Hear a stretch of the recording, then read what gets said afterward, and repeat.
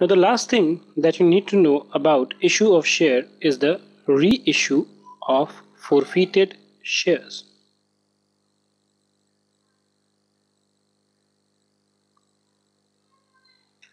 So what can happen is, let's say a company forfeited some shares, okay? Once you forfeited the shares, they were lying with you. So the company decided, let me issue it, reissue it, because by reissuing it, I can get some more cash. I mean, what will the company do with its own share? It's better to give it off to the public and get the money.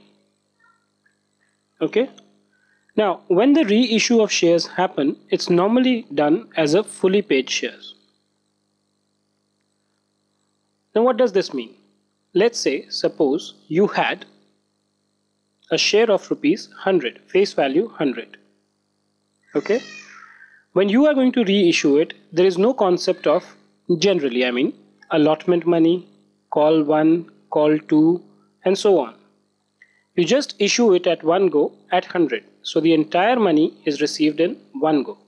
So these are issued as fully paid shares and normally would be at a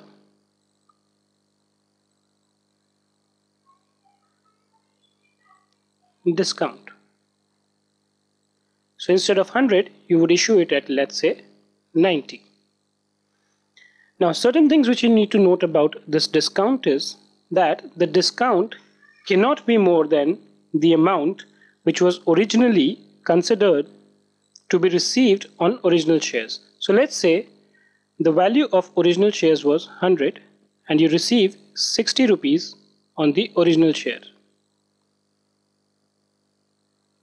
So the discount that you can give cannot exceed 60. Okay? And this discount which is given is not debited to the discount account. Not debited to discount account. Rather, this is debited to the share forfeiture account because that is standing as a credit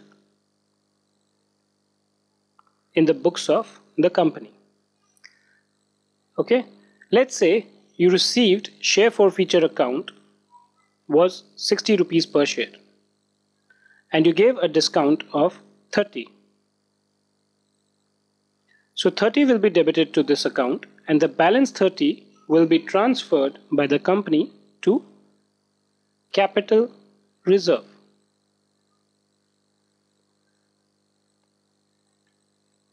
Okay, so what are the entries that are going to be passed? Let's say you reissue these shares at 60. I mean 60 is what you received. You reissue these shares at rupees 70. Reissue at 70. So you would debit the bank account by rupees 70. You would debit the share forfeiture account. I told you that the share forfeiture account has to be debited for the amount of discount which is given. So if we reissue it at 70, discount basically is equal to 100 minus 70 is equal to 30. So this 30 goes to the share forfeiture account to share capital. 100. Now assuming you received 60 rupees in the original share, the amount lying to the credit of share forfeiture account would normally be 60 minus 30. Right? So this amount you again debit share forfeiture account by 30 rupees and transfer it to capital reserve.